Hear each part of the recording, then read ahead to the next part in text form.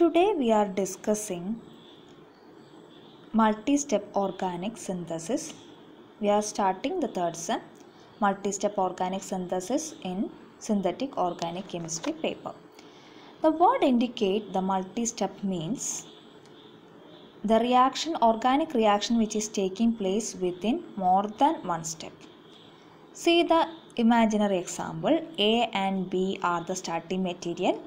They combine together to form the C and C is the final product of the first reaction. The C is the starting material in the second reaction and the C combined with the D and we will get the E. E is the final product of second react second step and that is the starting material in the third third reaction and the finally we will get we will get G. What is the role of the multi-step synthesis in organic reaction? What is the application? The application is that multi-step synthesis is used for the conversion of existing molecule into other useful molecule like drug, polymers and dyes etc.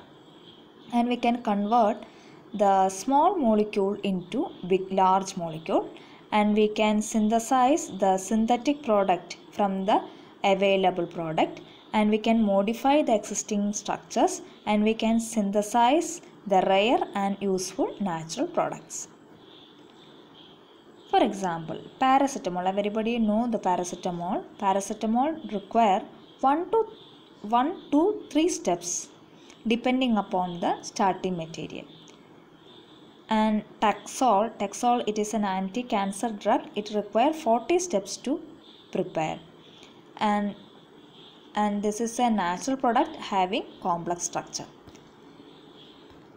Next is the synthetic analysis and planning. For every multi-step synthesis, there is a target molecule. So we have to understood the structure of the tar target molecule very well. Then find out the possible reaction which is known by us or otherwise we have to do the retrosynthetic analysis of the target molecule. Retrosynthetic analysis was first introduced by E.J. Corey, Harvard. He is a scientist in Harvard University and he got the Nobel Prize in Chemistry in 1990. In what do you mean by this retrosynthetic analysis means?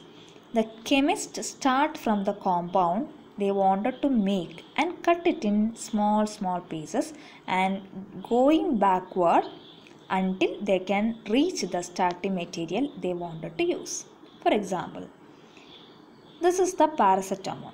So paracetamol consisting of two functional group OH and amide linkage. So this arrow shows the retrosynthetic analysis. So we are cutting the target molecule paracetamol into small pieces. First of all we are cutting in the amide linkage.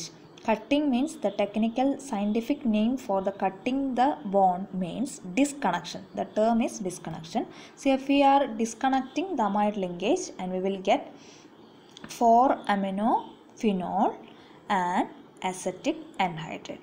So the starting material for the preparation of the paracetamol is 4 amino phenol and acetic anhydride. If you are doing the same reaction in the backward that is the synthesis of a paracetamol. So we can write it as 4 amino phenol plus acetic anhydride gives paracetamol.